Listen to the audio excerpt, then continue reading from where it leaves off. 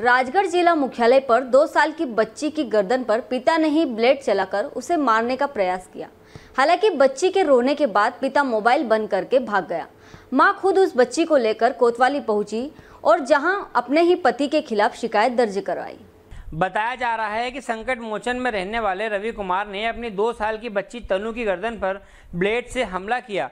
करीब छः इंच से ज़्यादा लंबी यह ब्लेड चलाई गई, लेकिन घाव ज़्यादा गहरा नहीं हुआ। लेकिन ब्लेड के निशान पूरी गर्दन पर स्पष्ट नज़र आ रहे हैं। पत्नी ने बताया कि उसका पति रवि आए दिन उसके साथ मारपीट भी करता है, लेकिन वो कभी थाने नहीं पहुँची, लेकिन इस बार तो हद ही कर दी। बच्ची की जान चली जाती, ऐसे में वो पुलिस थाने पहुँची और पूरे मामले की शिकायत करते हुए कार्यवाही की मांग की है।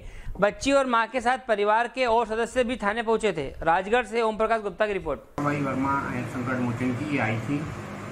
इनका कहना है कि मेरी बच्ची को उसके पिता ने मारा है और आए दिन शराब पी के वो मारपीट उनके साथ और बच्चों के साथ भी करता है। ऐसा उन्होंने कहा है कि वो उस, उसके गले में ब्लेड जैसा निशान है ब्लेड से मारने का। हम देख रहे हैं कार्रवाई कर रहे हैं और उस बच्ची को मेडिकल भी कराएँगे कार्रवाई करते हैं। दूध लेके तो पापा उसको छोड़ के निकल गया और हम्म। मेरे से बोला मम्मी पापा ने यहाँ काट दिया। तो मैंने देखा तो उसको पाउडर लग रहा है और खून निकल रहा है। तो मोबाइल भी ले गए मोबाइल छोड़ के नहीं गए घर पे। भैया का मिल नहीं रहे अभी कहाँ है? ट्रैक्टर चलाने गया गंगे का ट्रैक्टर चलाता नहीं। अच्छा।